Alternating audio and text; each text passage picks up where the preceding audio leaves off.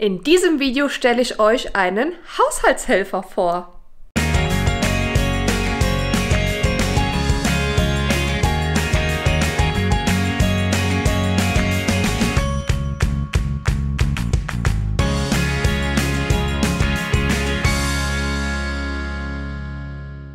Hallo meine Lieben und schön, dass ihr wieder eingeschaltet habt zu einem etwas anderen Video. Denn ich durfte einen Staubsaugerroboter testen von Jedi. Erstmal vielen, vielen Dank ans Zuschicken. Ich präsentiere euch in diesem Video den Jedi Vac Max, einen Staub- und Wischroboter. Und die genauen Details erzähle ich euch jetzt. Die paar technischen Details werde ich euch jetzt vorstellen. Die Saugleistung beträgt 3000 Pascal und hat vier Stufen, ein vierstufiges Reinigungssystem. Äh, der Staubsauger erkennt die Bodenart und äh, hat eine hochentwickelte Teppicherkennung. Die, äh, der Staubsauger erkennt Räume visuell und erstellt auch eine Karte, die ihr dann danach in der App ähm, sehen könnt von eurer Wohnung. Der Staubbehälter hat 420 Milliliter und der Wassertank hat eine Größe von 240 Millilitern. Die Laufzeit äh, des Akkus beträgt um die 200 Minuten. Es kommt natürlich auf die Saugleistung und auch auf die Wischleistung an. Dann gibt es eine App- und Sprachsteuerung. Ihr könnt den ähm, Roboter über die App steuern oder aber auch über Sprachsteuerung wie Alexa und Google. Dazu gibt es eine äh, Absaugstation, die man sich zusätzlich noch kaufen kann. Die habe ich jetzt aber nicht hier in dem Paket. Ja, wo ich dann das A gesagt habe, ich sage es jetzt nicht nochmal mit der Sprachsteuerung, hat sie direkt bei mir hier auch reagiert. Also es gibt eine zusätzliche Absaugstation, die man äh, auch erwerben kann, auch bei Amazon, genauso wie den Staubsauger. Ähm, wenn der Staubsauger ähm, was taugt, dann denke ich auch über die Absaugstation nach, denn die Absaugstation ähm, ja, hat einen, einen Staubsaugerbeutel und kann bis zu einem Monat muss die Absaugstation nicht geleert werden. Das heißt, ja, euer Staubsauger kann eure, äh, seine Runden drehen, ohne dass ihr den Behälter leeren müsstet. Aktuell kostet der Staubsauger 350 Euro bei Amazon, aber es gibt einen 80 Euro Gutschein. Damit kostet das Gerät nur noch 280 Euro. Nee, rechnen muss man können. Also 350 Euro minus 80 macht bei mir 270 Euro. Genau. Ja, und ich würde sagen, wir packen jetzt den Staubsauger aus und schauen mal, was er so drauf hat mit der Staubsaugerleistung. Ich habe mein Paket hier von Jedi bekommen und wir packen das jetzt zusammen aus. Hier ist der Quickstart Guide, den gehen wir gleich auch noch zusammen durch. Aber schauen wir erstmal, was hier noch alles drin zu finden ist. Natürlich das Hauptgerät. Ja, so sieht das gute Stück aus von vorne. Hier ist der Einschaltknopf, aber das, da drücken wir jetzt nicht drauf. Wir müssen auch erstmal aufladen. Und so sieht er von hinten aus. Mit der Bürste, mit den Rollen. Und äh, hier ist der Wassertank für die Wischfunktion. Alle Funktionen des Jedi Vac Max schauen wir uns natürlich auch noch in Action an. Was noch alles im Paket war, für die Wischfunktion einmal hier dies ähm, Mopping, äh, die Mopping-Platte sozusagen. Also da kann man die verschiedenen ähm, Wischmops sozusagen äh, tauschen, wechseln, wie oft man will. Und die kann man natürlich auch waschen. Dann war noch hier für die ähm, Staubecken, der kommt dann hier vorne dran, denke ich mal, ähm, dass auch, wenn man, dass er auch gut in die Ecken kommt und den Staub aus den Ecken rausholen kann. Und natürlich war auch noch eine Ladestation drin. Ähm, ich packe jetzt alles aus, stecke ihn an die Ladestation, lade ihn für circa sechs Stunden und würde ich sagen, dann sehen wir uns gleich mit dem aufgeladenen Jedi nochmal. Ich habe ihn jetzt an die Dockingstation angeschlossen und gestartet und er redet sofort mit euch oder sie, es ist eher eine Frauenstimme, die mit euch redet. Und sie sagt euch erstmal, dass man das Gerät einschalten soll zum Laden. Und zwar müsst ihr dann hier die Klappe aufmachen und einfach hier auf 1 drehen. Und dann fragt sie euch, äh, oder sagt sie euch auch, ihr sollt den QR-Code scannen. Also sie redet sehr, sehr viel mit euch. QR-Code scannen, um, um die App runterzuladen. Äh, das habe ich bereits gemacht und ich habe ihn auch schon verbunden. Geht ganz einfach. Einfach äh, den Anweisungen der App folgen. Äh, man muss dann hier in sein WLAN-Netzwerk sich einloggen. und das Passwort eingeben und dann folgt man einfach den Schritten. Man kriegt dann hier einen QR-Code, den man dann hier in dieser Kamera abscannen kann und dann ist das Gerät im Prinzip verbunden. Software-Update hat er auch schon gefahren und ja, jetzt könnte ich ihn jetzt hier auch mit der App starten, aber das Ganze schauen wir uns dann an, wenn er vollgeladen ist. Das dauert jetzt wie gesagt, äh, um die sechseinhalb Stunden steht äh, in der Anleitung. Ähm, ja, das dauert jetzt ein bisschen. Und dann schauen wir mal, wie er saugt und putzt. Der nächste Morgen und ich würde sagen, wir schauen mal jetzt, wie der Jedi performt. Um es ihm ein bisschen schwerer zu machen, habe ich hier ein bisschen Paniermehl verteilt und hier nochmal ein bisschen Paniermehl verteilt. Und ich würde sagen, wir starten jetzt mal mit der App und wir schauen uns erstmal an, wie er saugt. So, Vorbereitung. Ja, ich habe alles gemacht. Ich habe Teppiche hochgehoben. Ich habe die Türen auf. Und jetzt schauen wir mal. Ja, ihr seht hier, wie er reinigen soll. Er soll auch unter die Couch, unter den Tisch. Meine Couch ist relativ hoch. Ja, also los geht's.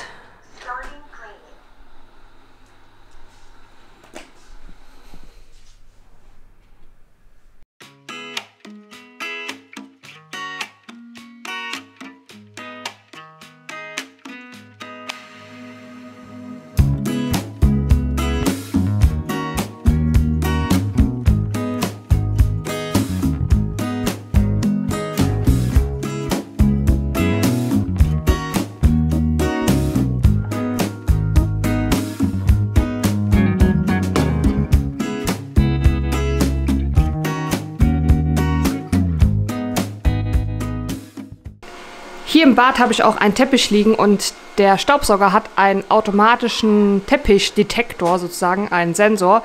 Wenn er über Teppiche fährt, äh, erkennt er das und erhöht sozusagen die Saugleistung. Das hört ihr jetzt.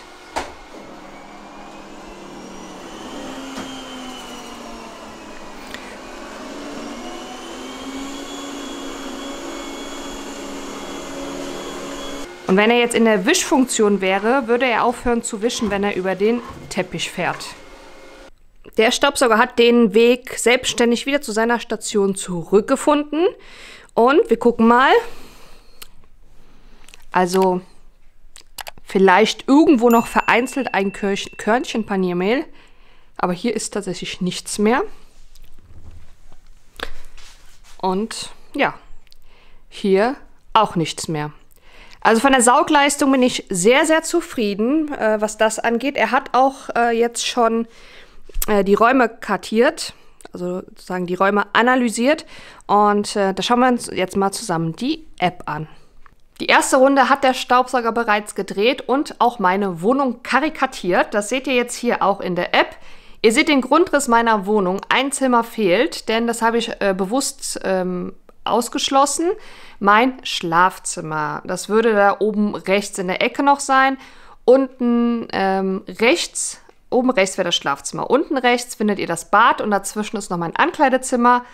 Und den Flur, die Küche und auch das Wohnzimmer hat er irgendwie als ein Raum karikatiert. Ist jetzt nicht perfekt, aber man könnte ihn jetzt nochmal äh, neu durchlaufen lassen. Man könnte auch hier auf Kartenverwaltung gehen. Und ihr seht ja, wie ähm, er die Räume sozusagen ähm, ja, eingeteilt hat. Da kann man dann auch Symbole hinterlassen. Und hier könnte man jetzt äh, noch ähm, einige Bereiche ausgrenzen, wenn ihr jetzt noch irgendwie irgendwo was hinstellt und sagt, ne, bitte da nicht hinfahren. So, jetzt fokussiert er was im Hintergrund. Genau, das, ihr könnt auch hier die Karte löschen im Prinzip und dann ähm, würdet ihr eine neue Tour machen, wenn ihr unzufrieden seid. Dann gibt es noch viele verschiedene andere Einstellungsmöglichkeiten. Ihr könnt jetzt sagen, ne, geht jetzt nur oder fahr ins Bad und saug nur im Badezimmer oder nur im ähm, Ankleidezimmer, was jetzt hier bei mir ein Baby ist. Ähm, es gibt die Auto, ähm, automatische Reinigung, da fährt er im Prinzip alles nochmal ab. Oder die Dis benutzerdefinierte Reinigung. Und das seht ihr jetzt hier. Ihr könnt einfach einen Bereich markieren, am Esstisch zum Beispiel oder in der Küche. Ihr habt da ganz, ganz viel Dreck gemacht. Könnt ihr das einfach ähm, ja, in der App markieren und dann würde er da hinfahren. So viel zu den Einstellungen. Ja, die letzte Reinigung äh, hat zum Beispiel äh, bei mir 63 Minuten gedauert und es waren nur 35 Quad Quadratmeter.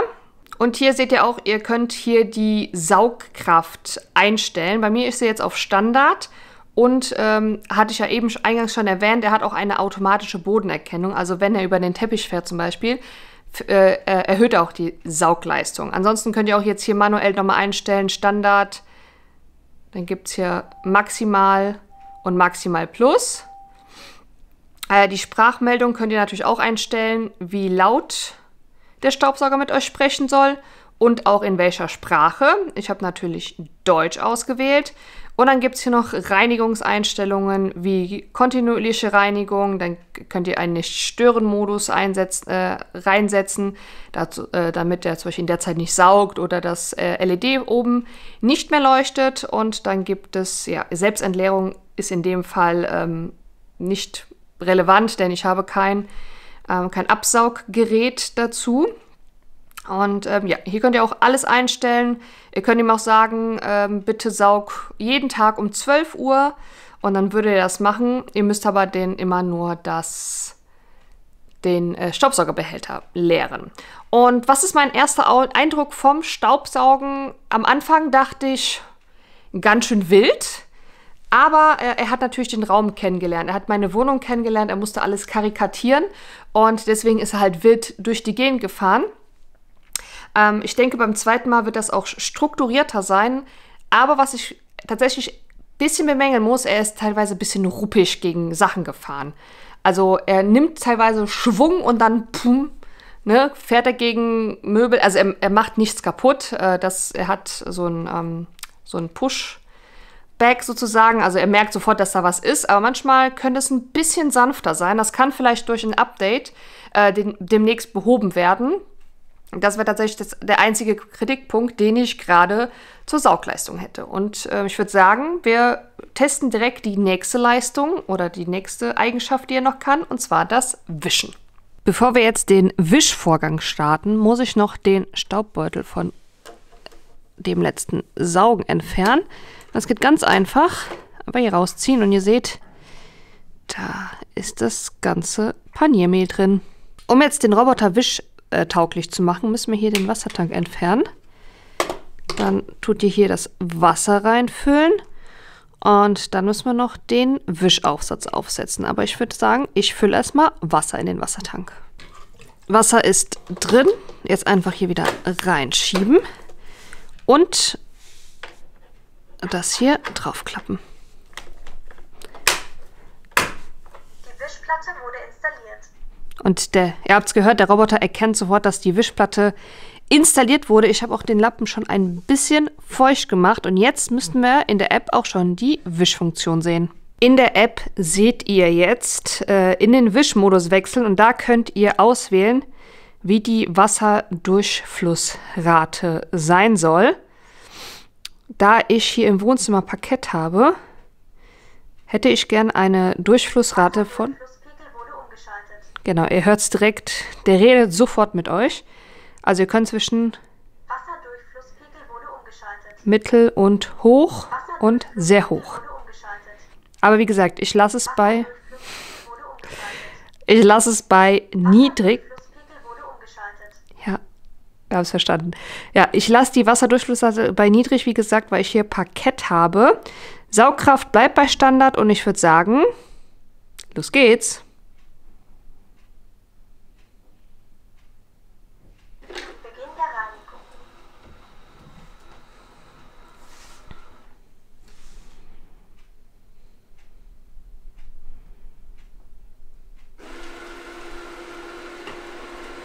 Der Roboter hat ja gestern schon alle Räume abgescannt und fährt jetzt dementsprechend nicht mehr kreuz und quer. Er kennt jetzt schon seine Bahnen. Und ja, jetzt mit der Wischfunktion.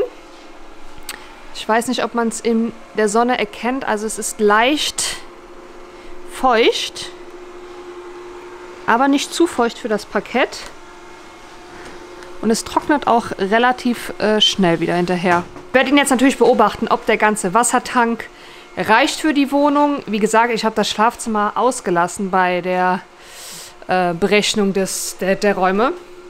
Also ich bin gespannt, ob der Wassertank reicht, ob es sauber wird und wie er sonst so performt. Also bisher fährt er vor sich hin, jetzt fährt er auf den Teppich zu. Mal gucken, ob er dann ausmacht. Er müsste das Wischen automatisch einstellen, wenn er über den Teppich fährt. Oder er fährt gar nicht drüber, wie man sieht.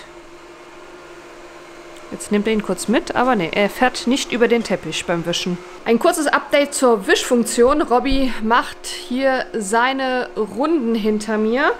Und zwar seht ihr jetzt hier auf meinem Handybildschirm äh, den Bereich, wo Robby bereits war. Das ist der, der hellblaue Bereich. Und äh, die weißen Stellen, die hat er noch nicht befahren. Und so weiß er im Prinzip, wo er schon war und wo er noch hin muss. In meinem Fall, er war noch nicht im Bad und dann noch nicht im Ankleidezimmer. Also die zwei Bereiche fehlen und noch ein paar Stellen im Wohnzimmer. Aber ich finde das wirklich ein ausgeklügeltes System, äh, dass Robby weiß, wo er noch nicht war und dann im Prinzip die weißen freien Flächen noch abfährt. Der Roboter ist jetzt auch fertig mit der Wischfunktion und so sieht das, das Wischtuch aus. Ist jetzt nicht allzu dreckig. Also ich hoffe, dass meine Wohnung da nicht so dreckig war. Und der Tank ist auch noch gefühlt fast voll. Ich habe natürlich die niedrigste Stufe eingestellt wegen dem Parkett. Ich müsste es jetzt demnächst mal testen, ob es auch ähm, eine Stufe höher geht, damit er ein bisschen mehr Wasser benutzt. Aber ich kann auf jeden Fall sagen, er hinterlässt keine Schlieren. Das finde ich ja immer das äh, Problem bei so elektrischen Geräten, sage ich mal so, dass sie Schlieren hinterlassen auf verschiedenen Böden. Und ich habe tatsächlich Parkett, Fliese und Laminat hier in der Wohnung, also alles verfügbar. Und ich habe keine Schlieren. Er hat einen feuchten Nebel hinterlassen auf den Böden, also er, es ist feucht gewesen, relativ schnell getrocknet und wie gesagt, keine Schlieren auf dem Boden. Das war mir tatsächlich sehr, sehr wichtig. Natürlich ersetzt dieser Boden- und Wischstaubsauger nicht die eigentliche Bodenwischarbeit. Er kommt nicht in die Ecken, weil er halt rund ist. Ähm, das Wischtuch kommt natürlich auch an, nicht an jede Stelle. Aber ich finde es tatsächlich eine gute Lösung, einfach mal so zwischendurch in der Woche ihn einfach mal laufen zu lassen, um halt so einen groben ähm, um den groben Schmutz halt zu entsorgen. Dafür finde ich ihn tatsächlich sehr gut und sobald er auch in der Station ist, sagt er bitte sofort Wischtuch entfernen, Wassertank entfernen, weil äh, er steht auch jetzt zum Beispiel im Wohnzimmer, wo das Parkett steht. Das wäre natürlich fatal, wenn der jetzt lange mit diesem Wischtuch auf dem Boden stehen würde, welches feucht ist. Ja, also auch von der Wischfunktion bin ich zufrieden. Wie gesagt, es ersetzt nicht eure eigentliche Arbeit, den Boden zu wischen. Aber für hin und wieder mal ähm, grob durchzuwischen, finde ich auch eine sehr, sehr gute Möglichkeit. Ja, das war mein kleines, aber feines Video über den Jedi Wag Max. Ja, ein, ein bisschen anderes Video auf meinem YouTube-Kanal. Aber sind wir mal ehrlich, wer staubsaugt oder wischt gerne mal seine Wohnung? Ich gehöre auf jeden Fall nicht dazu. Es muss gemacht werden und natürlich muss es auch hin und wieder gründlich gemacht werden. Aber ich finde, für unter der Woche, wenn man mal ein ähm, bisschen faul ist, kann man sich so einen Staubsauger schon mal zulegen. Und für 270 Euro finde ich den Preis vollkommen in Ordnung. Die App ist super einfach zu handeln, der Staubsauger ist super einfach zu handeln. Ich hoffe, dass dann noch bald ein Update kommt, dass er nicht ganz so ruppig durch die Gegend fährt. Kaputt gemacht hat er nichts. Aber hier und da könnt ihr ein bisschen sanfter fahren. Aber ich bin tatsächlich sehr, sehr zufrieden von dem Gerät und ähm, mir ist es auch wichtig, ehrlich zu sein hier auf meinem Kanal. Das heißt, wenn mir das Produkt jetzt nicht gefallen würde, hätte ich euch das auch gesagt und auch ähm, weitergegeben, dass mir das Produkt nicht gefällt. Aber ich bin zufrieden mit dem Jedi Wag Max und ähm, ja, wenn ihr eine kostengünstige Alternative für einen Staub- und Wischroboter sucht, kann ich euch diesen Roboter empfehlen. Und das war's jetzt hier zu diesem Video. Ich hoffe, das Video hat euch gefallen. Wenn es euch gefallen hat, bitte lasst einen Daumen nach oben da, abonniert den Kanal und wir sehen uns beim nächsten Mal wieder. Bis dann!